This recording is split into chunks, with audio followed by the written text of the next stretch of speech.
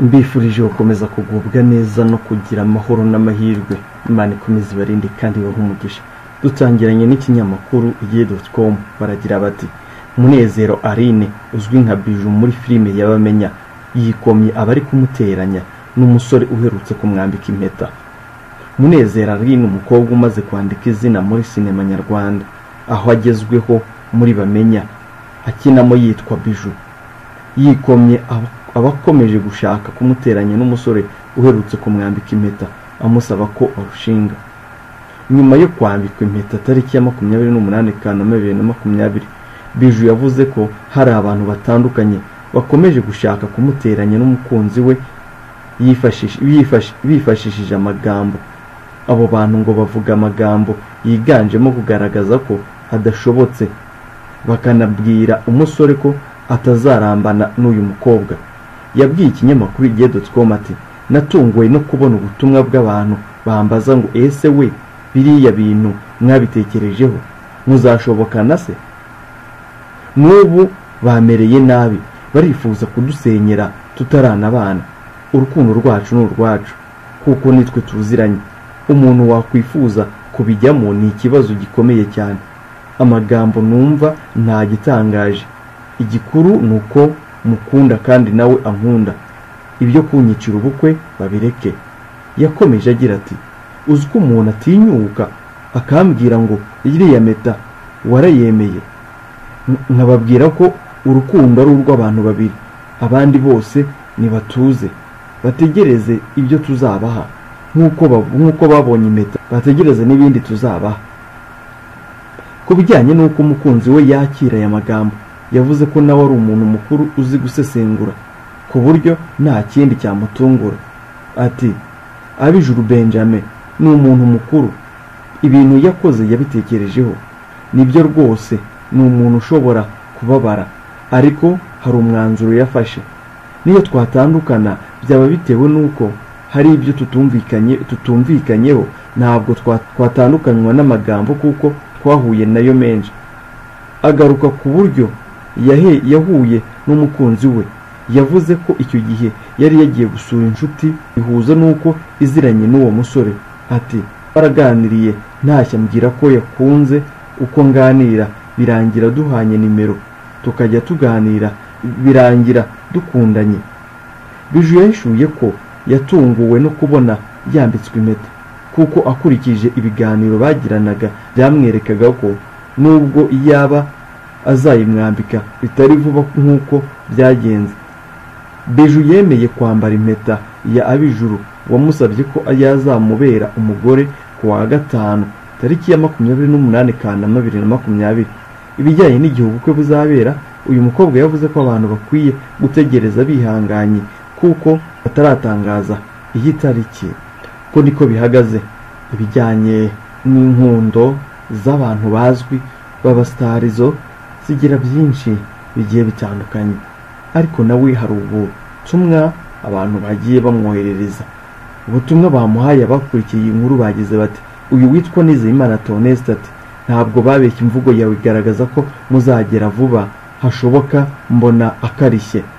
Uyu witwa emmanuel rusizi ati kuki mumwita umukobwa kandi akujije?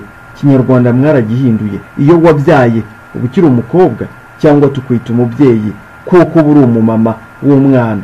Gusa nubwo ntabyizeye imana ikora ibyayo. Wabona bivuyemo umugore ugahindura isura yawe. Byanshimisha kuraje. Uyu alaska ati impamvu bavuga ko udashobotse ni uko filime ukunda gukina wiyambitse ubusa kandi si byiza nk'umwari w'u rwanda. Uyu ramina ati uyu mukobwa nabonaga ajijutse ariko ni injiji neza neza. Urashyira ubuzima bwawe hano kuki? Ntabwo ari byo. Nabonaga usa n'ukuzemo ariko ibi ntibikwiye. Ndakugaye nimusonza cyangwa mukagira ikibazo cyangwa ibibazo by'urugo ubu biju uzabijyana kuri bose babireba. Oya si byiza. Iyubahe ntibikwiye ndakugaye. Uyu witwa jonati niba mukundana muve mu bigambo by'abantu kuko barasenya kandi satani ntakunda abubaka ingo. Mukore ibyanyu bucece muve mu magambo y'abagome. Sugira nawe ati inama nagira abantu ni ukwirinda gushyira ubuzima bwanyu ku karubanda.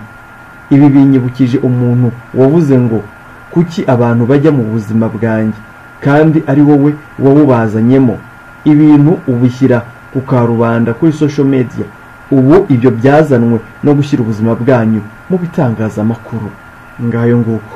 Reka dukomeze n'indi nkuru inkuru ibabaje cyane.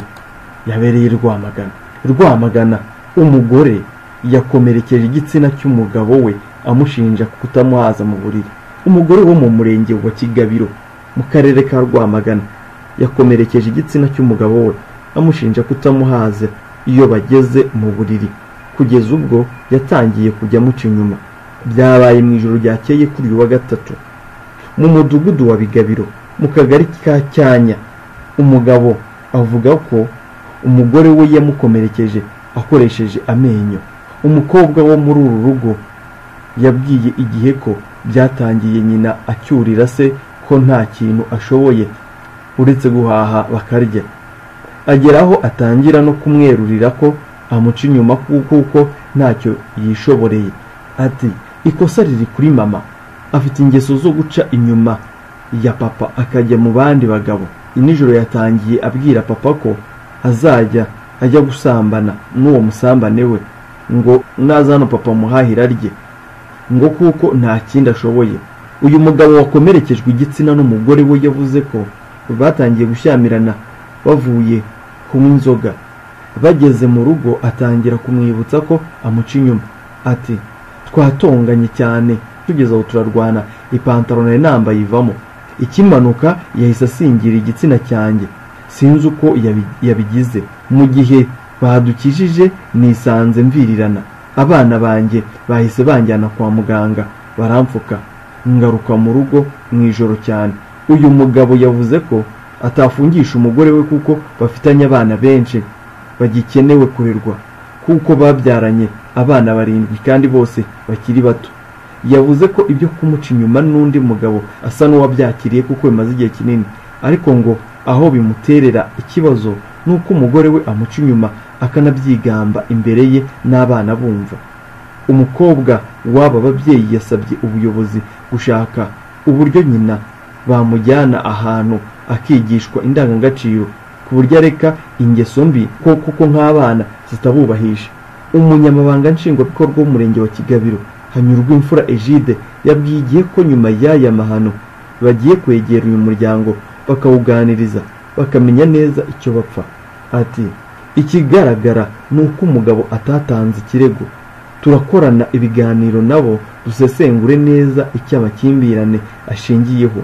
Kuko umugabo yatubwiye ko bapfa gucana inyuma. Birasaba ko tugirana ibiganiro tukabunga tukamenya ko koko muca inyuma. Twasanga hari ibimenyetso tukamusaba gutanga ikirego cyangwa akamubabarira bakiyunga.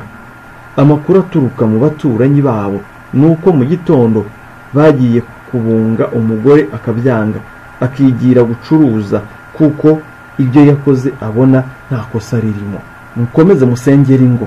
Muri iki gihe ni ikibazo gikomeye cyane. Gusa byose hagiye habaho gushishoza kandi habeho gufata umwanzuro kugira ngo abantu bataza kwicana.